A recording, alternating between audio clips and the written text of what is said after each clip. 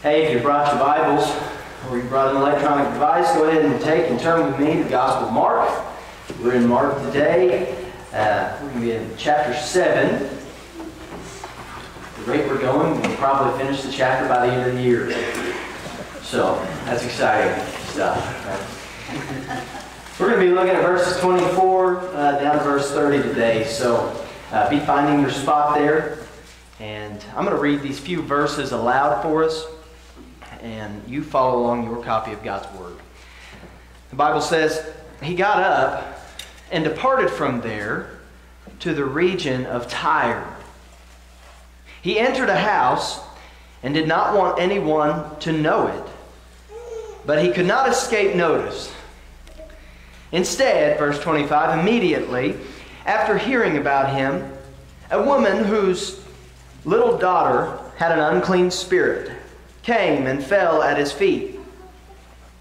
The woman was a Gentile, a Syrophoenician by birth, and she was asking him to cast the demon out of her daughter. He said to her, verse 27, Let the children be fed first, because it isn't right to take the children's bread and throw it to the dogs. But she replied to him, Lord, even the dogs under the table eat the children's crumbs. Then he told her, Because of this reply, go. The demon has left your daughter. And in verse 30, when she went back to her home, she found her child lying on the bed, and the demon was gone. Lord, we come to you this morning with great expectation that you're going to show up and meet us here and move in mighty and powerful ways. Lord, I have nothing to offer this church. By way of word today, I've got uh, nothing to give if you don't meet us here. Father, would you show up and work in our hearts and in our lives, and by the power of your Spirit, would you convict us of sin and righteousness? Would you compel us to respond to the word today? Lord, as we prepare to gather around the table later this morning, Father, we love you. Pray that you'd have your way in our hearts today. In Jesus' name, amen. Yes. Amen. Um, Mahatma Gandhi uh, was a great leader from India, spiritual leader. You, have probably heard that, heard that name before, Gandhi. Uh, the story is told that early in, in Gandhi's life, earlier in Gandhi's life, uh, he was obviously from a spiritual, uh, ethnic Indian background. And so he was not a follower of Jesus. But one day, uh, Gandhi sat down and he read through the Gospels.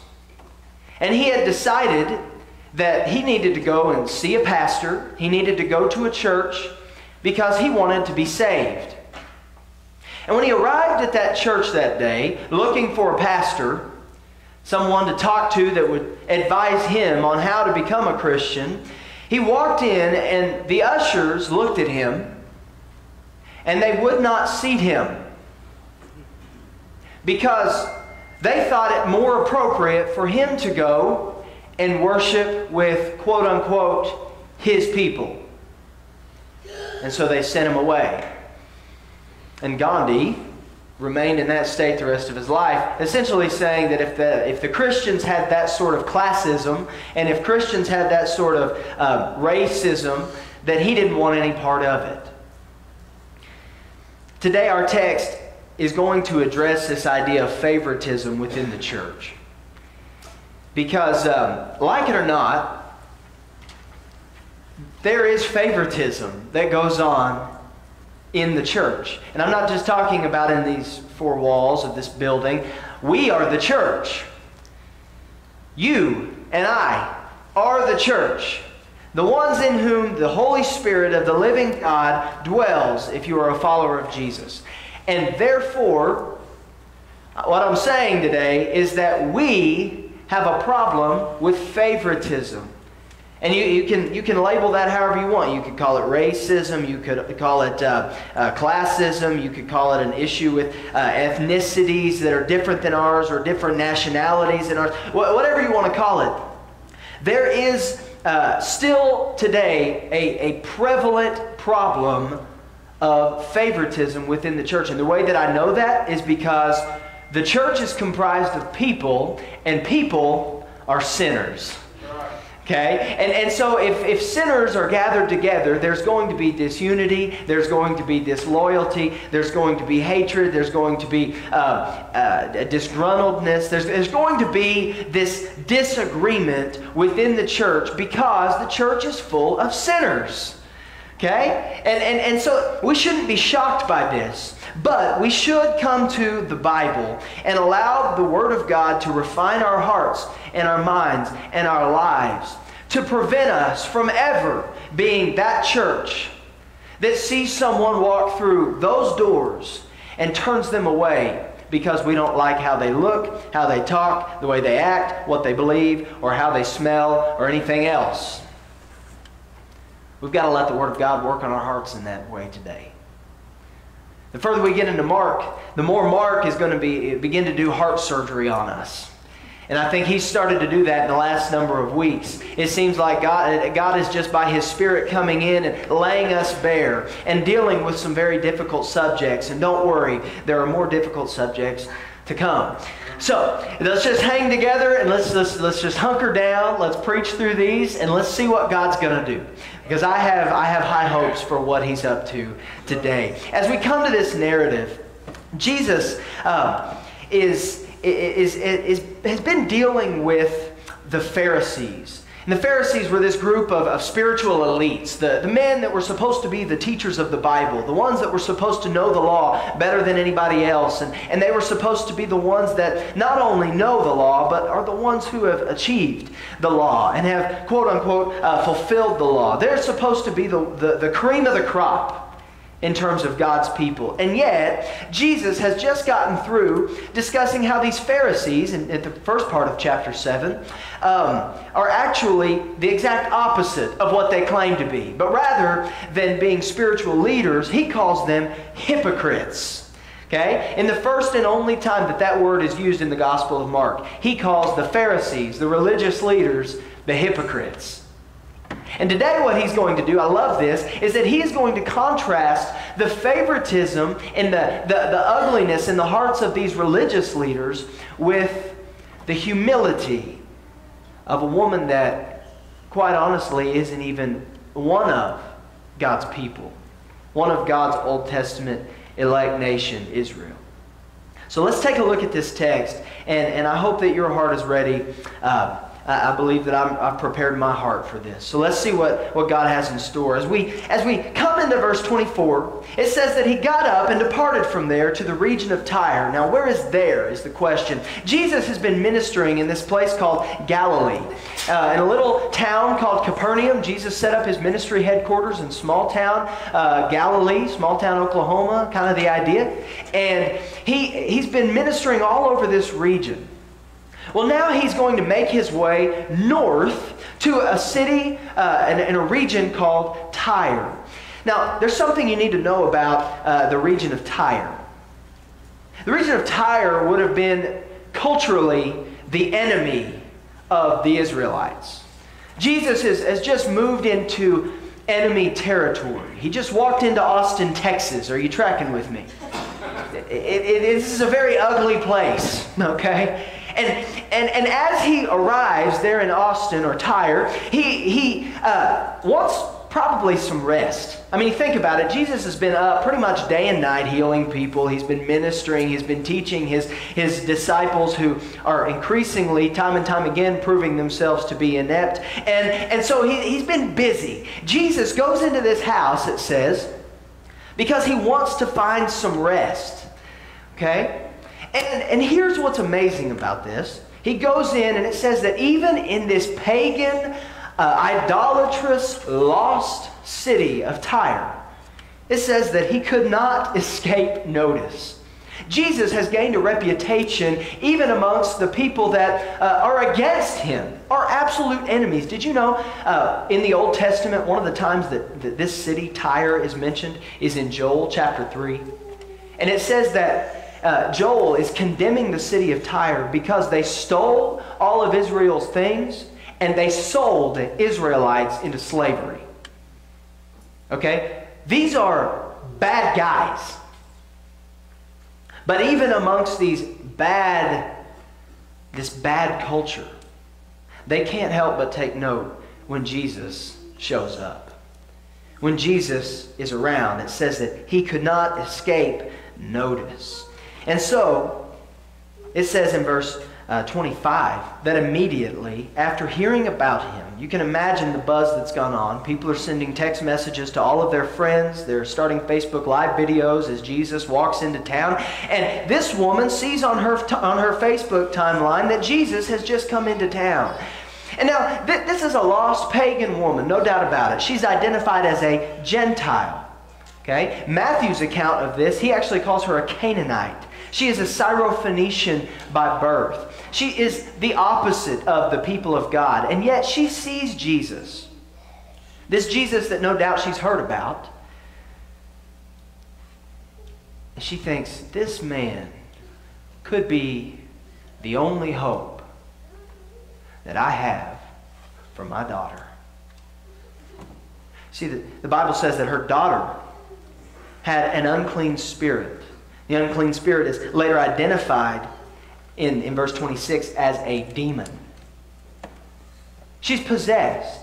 Think about, um, don't, don't think about Hollywood pictures of, of possession. Think about biblical picture of possession. What does that mean for this young girl? Maybe she's begun, uh, maybe it started out as kind of a slippery slope. She began just to, to, to, begin to act a little differently. She wasn't herself. She wasn't enjoying the, uh, the, the her friends and her family and her uh, playtime like she used to. And Suddenly, uh, maybe she began to, to, to, harm herself in her body, or maybe she began to uh, try to throw herself into the fire occasionally. Maybe this, this, this girl has set out on a path of self destruction because of this demon within her. And this mama, whose heart is breaking, sees and hears about Jesus and thinks, This is my only chance.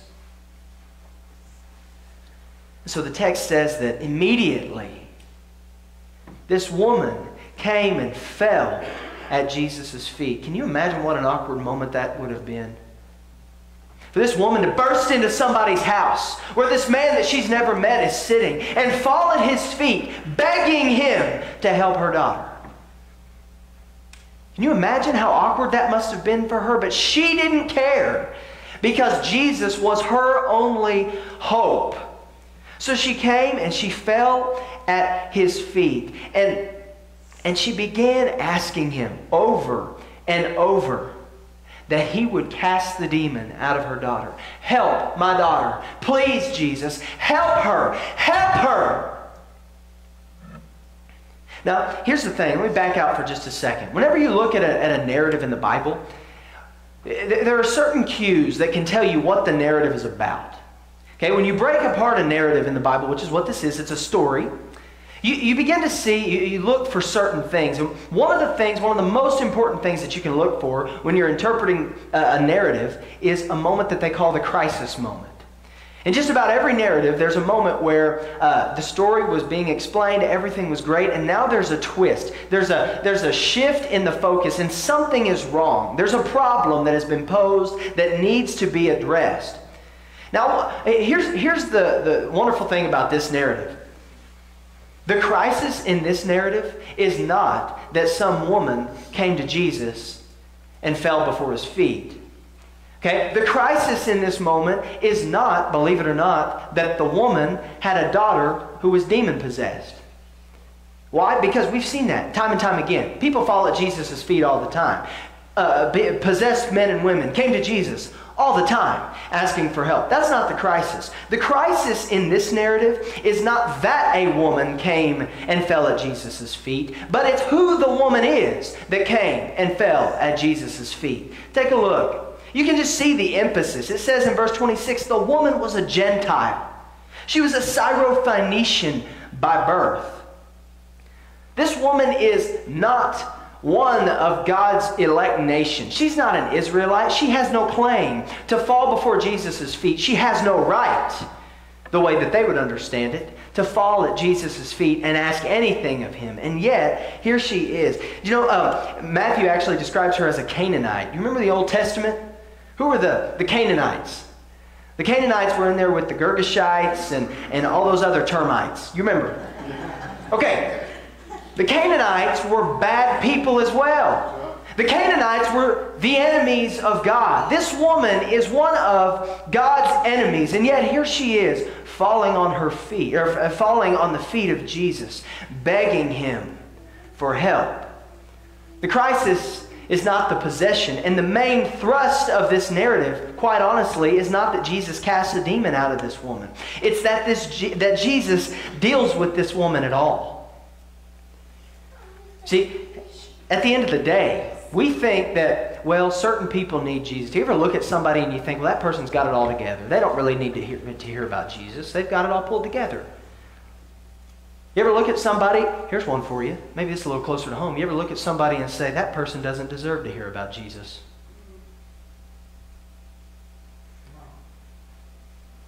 The need for Jesus transcends racial, ethnic, national, socioeconomic, gender barriers, any barrier you can come up with. The need for Jesus transcends it.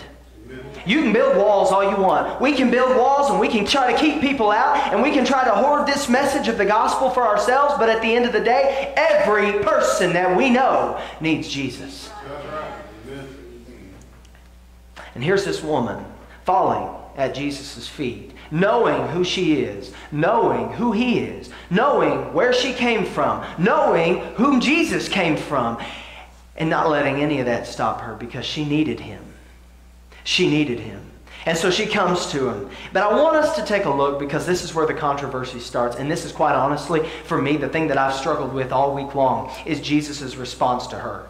Take a look at this. Look at verse 27 in the text. It says that he said to her, Let the children be fed first, because it isn't right to take the children's bread and throw it to the dogs. Now, Matthew actually gives uh, some more detail. He, Matthew explains who Jesus is talking about when he says children and when he says dogs. Matthew actually explains that right before that, Jesus draws the parallel between the children and Israel. He's saying the children are those that I've come for, Israel are those that I've come for, but not the dogs, all you other people, not the Gentiles this looks like, listen, let's just call spade a spade. This looks like a very harsh response. This looks out of character for Jesus, does it not? This looks almost, and, and which, by the way, tells us that this is 100% accurate because who would include that? Okay, if this were not inspired. And yet, it's here. And we have to figure it out because I've struggled with this all week. What was Jesus thinking? What did he mean? Was he being the racist that we decry? Was he being the, the nationalist that we look down upon? I mean, is that what Jesus' mentality was right there? Let me just tell you in short, no. That wasn't it at all. But at the end of the day, when he called the Gentiles a dog, when he looked at this woman and called her a dog, I don't care what culture you're in, you're in that's offensive. Okay? Especially in first century Judaism. They didn't do this stuff with their dogs today where they like dress them up and paint their toenails for them. Okay? If you're going to do it, do it for a dog, not a cat. But don't. I know, I'm, well, I'm, I'm going to get scolded for that. I'm going to get an email. But listen, he just called this lady a dog. That, in any culture, in any context, is offensive. But you know, I think uh, if we look at it in the context of the culture, it may make a little bit more sense. Because while calling someone a dog is offensive, in their context, what they would do is feed the adults, feed the children, and then the scraps would go to the dogs. Jesus is making the point, something that Paul touches on in Romans, where it really unpacks in Romans. That Jesus came first for the Jew and then to the Gentile, but he came for all of them. Okay? And, and his earthly mission was no doubt to come as the Jewish Messiah. And he's reorienting this woman as to tell her that, hey, you know, at the end of the day, I didn't come for the Gentiles right now. I came for the Jews. And so it's, it's hard for us. It's kind of like have you ever sent a text message and then somebody misinterpreted your text message because they didn't understand the tone? It's sort of like that. I think if we don't have all of the context, it's hard for us to interpret this properly. And I'll be honest, it's hard to span the sea of time to get back into that context. But it, it's sort of like this. One time, we were raising money for a, uh, a water well in South Sudan at my home church. And so uh, the youth pastor had left in the middle of this project, so I kind of stepped in and I, I took over the project and was kind of spearheading it. Well, one day we had to raise $10,000 for this water well. So this was a big undertaking. Okay? And so we're raising the money, and one day we get a check for like $8,000. It pushes us over. We, we came up with $15,000 for this water well. And I was so excited that day. I immediately got on, on the website for this company, that this ministry that goes out and, and uh, drills these wells in South Sudan. I sent him this big letter telling him all about how we had raised $15,000 and it was so exciting and everything was great. And then I signed the email with the thing that I, I always signed my e- emails with. I said, In Christ, Duncan Blackwell.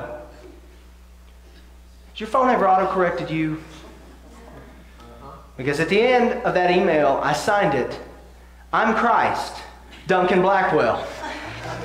I, I, just know somebody was sitting in a meeting that day and said, Guys, Jesus just gave us 15 grand.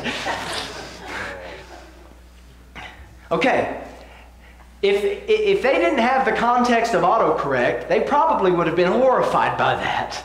Okay? If you don't have proper context, it's easy for us to misinterpret. I think, listen, I think if we go over and read Mark's or Matthew's account of this, I think it'll give us a proper tone for how this conversation really played out. Rather than Jesus casting this poor woman to the side. Over in Matthew 15, keep your, keep your thumb and Mark there sounded more like this, I think. It says, Just then a Canaanite woman came from that region and kept crying out, Have mercy on me, Lord, son of David. This is verse 22. My daughter is severely tormented by a demon. Jesus did not say a word to her. Your translation may say ignored. I think that misses the mark a little bit. I, I think, I think that the, the idea there is that he paused and he looked at this woman as she's begging him, Help my daughter. And he's looking down at her, knowing that his mission is for the Gentiles, and yet he pauses. His disciples come to him and they begin to say, Send her away because she's crying out after us. She's, she's getting on our nerves. Send her on, Jesus. And yet Jesus is sitting there just looking at her. it says that he replied, I was sent only to the lost sheep of the house of Israel. She said, Lord, help me, as she fell on her, on her knees. And in verse 25, or verse 26, it says, It isn't right to take the children's bread and to throw it to the dogs.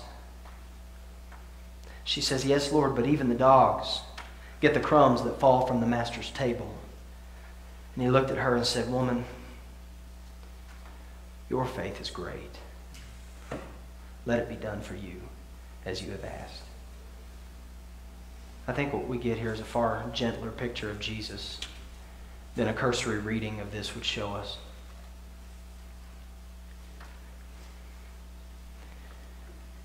And he says, Because of your reply, go. Back in Mark here. The demon has left your daughter because of your reply. What does he mean by that? This is a Gentile woman pursuing a Jewish Savior. Because she was willing to put everything else aside and come and take anything that he would give her, she got what she asked for. Sometimes we come to Jesus and we have these high expectations of what we deserve. And yet Jesus is saying, No, you come and you take what I give you. That's the heart of the person that's seeking after me. She said, I don't need a big banquet. I don't need a steak. I don't need fine wine. I don't need a banquet hall. I don't need a big party. I'll take the crumbs that fall off your table if they come from Jesus. Listen, the need for Jesus transcends all of those boundaries, but I want you to hear today that the grace of Jesus also transcends socioeconomic, gender, racial, uh, ethnic boundaries. All of them. We, we get so caught up on where someone came from and what they've been through, and we begin to pass judgments on them like, well, they don't deserve to hear about Jesus. Or they don't need to hear about Jesus because they're all high and mighty. Or, or that person's too lowly to hear about Jesus. Listen to me today. It does not matter where you came from as long as you come to Jesus. And it doesn't matter where anybody came from as long as we're inviting them to Jesus. We have no right to show favoritism in the church. Racism has no place. Classism has no place among the people of God because those things destroy unity within the church. We're about to participate in communion here in just a few minutes. Communion, the, the heart of communion is unity, that we commune together. And, and favoritism destroys unity. So I've got today the ABCs of unity within the church. Ready?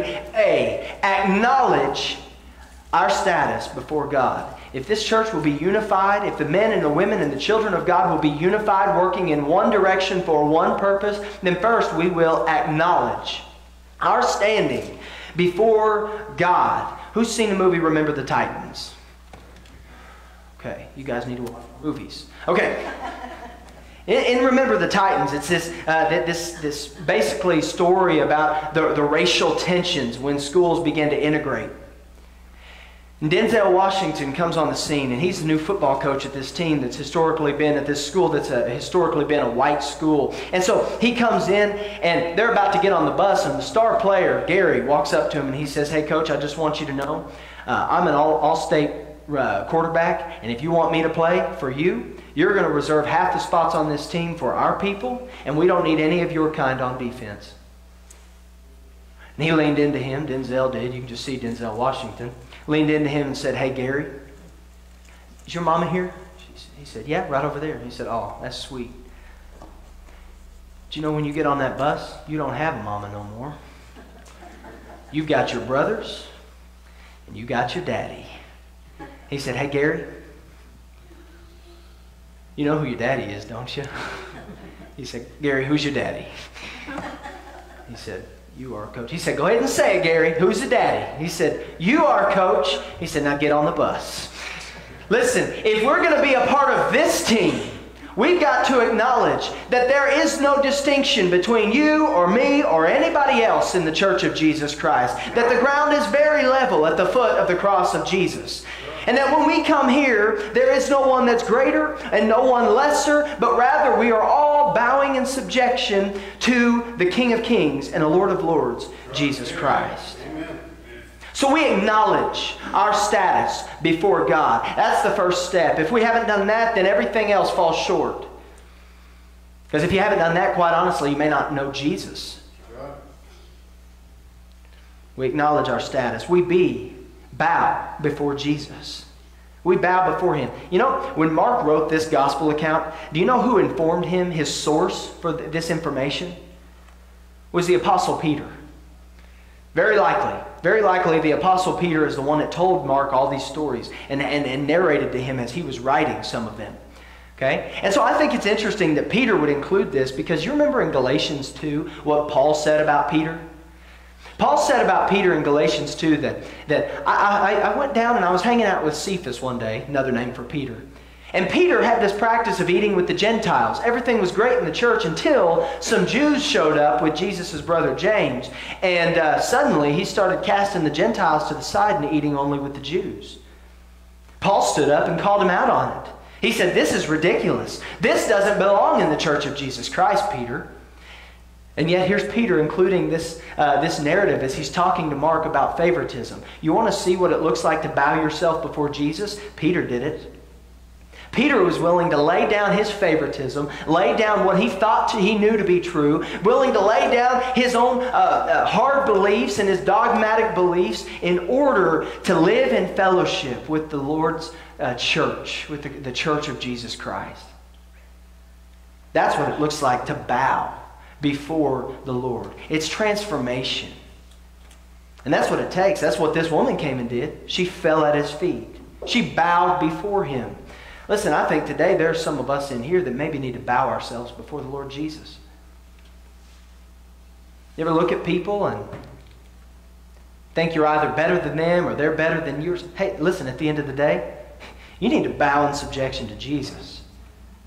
And I, firmly believe if we acknowledge who we are before God and who God is before all men, then, then we'll have no problem bowing before Jesus.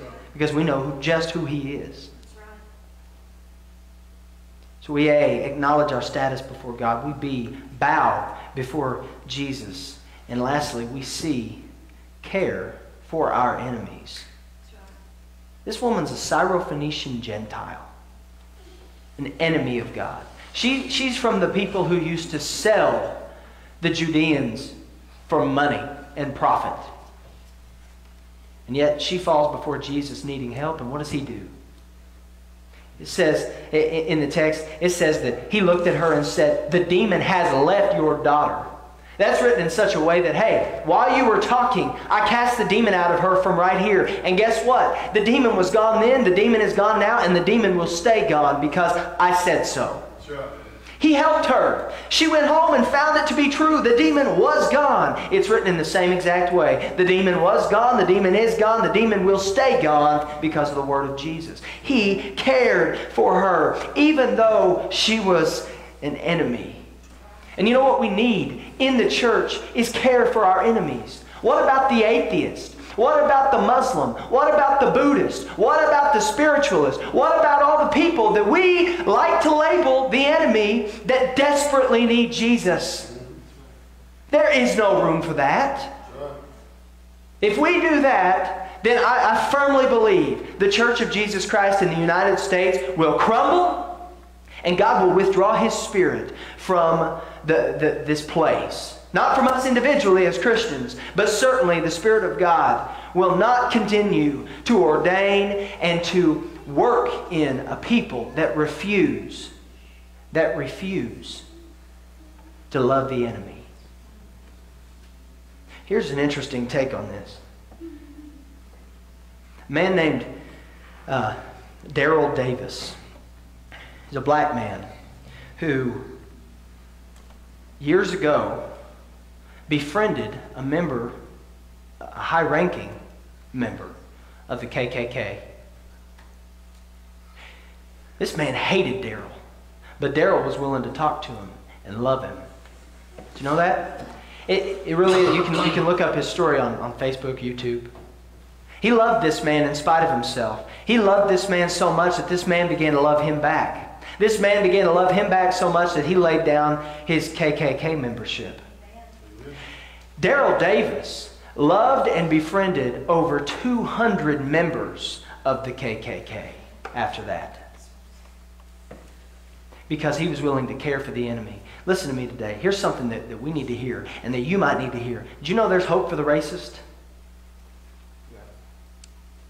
Yeah. There is. We hear a whole lot about how there's not. There is. If we will love them and if we will treat them with the love of Jesus and preach the gospel into their lives, I promise you, God can save them just like He saved me. If He can save my sorry soul, He can save anybody. We're to care for the enemy. There's hope for any person that you can see, any person that you interact with, even the, think of the cruelest person that you know. There's hope for that man or that woman. And they can come into this fellowship, and God can break down barriers that they built in their lives. God can break down barriers that they built in their minds. God can do amazing, miraculous works in the lives of those who would surrender to Him so that they too could participate in the table. This morning, we're going to participate in the Lord's Supper. And here's the thing we didn't have our prayer time at the beginning of the service because I want to have it now. We need to prepare our hearts for this. This is a time that, hey, quite honestly, we haven't been able to have in months here because of the pandemic, because these little prepackaged cups were sold out for months. Okay? For, for lots of reasons. But we're doing it now. And here's the thing you need to prepare your heart to lay down divisions and barriers that are between yourself and God and yourself and your fellow believer. It's not lost on me that we might look across this room today and see somebody that we are at odds with. You might look across this room today and see somebody that, hey, you know, quite honestly, the last time we talked was very ugly and we've never reconciled. You know what you need to do today, maybe during this time of reflection? If you want to come down here and pray at the steps, you're welcome to do that while Spencer sings. But maybe what you need to do is go across the aisle today. Maybe go to the back of the room or to the front of the room today and grab somebody by the hand and say, hey, I just want you to know you wronged me, but I'm praying through it to forgive you. Or I wronged you and I'm so sorry. Maybe that's what we need today. It's just some reconciliation. The whole idea behind communion is communing with God and with one another. This is the Lord's Supper. We'd better not enter into it flippantly, but we better take this very seriously. So here's what we'll do. You've got some time to pray here, okay? Just a few minutes as Spencer through, sings through this song. And I want to invite you to do that. If you want to come kneel at these steps, if you want to kneel right where you are, just bow your head. If you want to go talk with somebody, you're welcome to do all of those things. Here's the deal. Here at Bethel, we practice close communion. That's what it's called, okay? You don't have to be a member at Bethel to participate in the Lord's Supper, but you do have to be a born again believer who has been baptized after your salvation okay? Who's in good standing with a local church somewhere. That's what we ask. And so, uh, and, and more than anything, we ask that for your benefit. There are some serious uh, consequences laid out in Scripture for those who take the Lord's Supper flippantly. We don't want to do that. But I want to give you a time of reflection. If you are born again, if you know Jesus, if after you came to know Jesus, you've been baptized, and you're in a local church, feel free to participate with us today. I'm going to pray for you, and we'll open it up for this time of reflection. Spencer's going to sing through a song. I'm not going to belabor it, but let God work in your heart today. And then we'll ask the deacons to come forward. Father, I pray for each of us. God, that we would lay down the hindrances that we have in our hearts. Lord, that you would tear down the walls that we've built in our hearts whatever those look like, however ugly it may be. Father, would you have your way in our lives today? During this time of reflection, would you convict us of sin and of righteousness? Would you convict us of, of disunity within the body of Christ? Would you compel us to lay those things down, to be reconciled with our brother or sister? God, we need you now. In Jesus' name. Amen.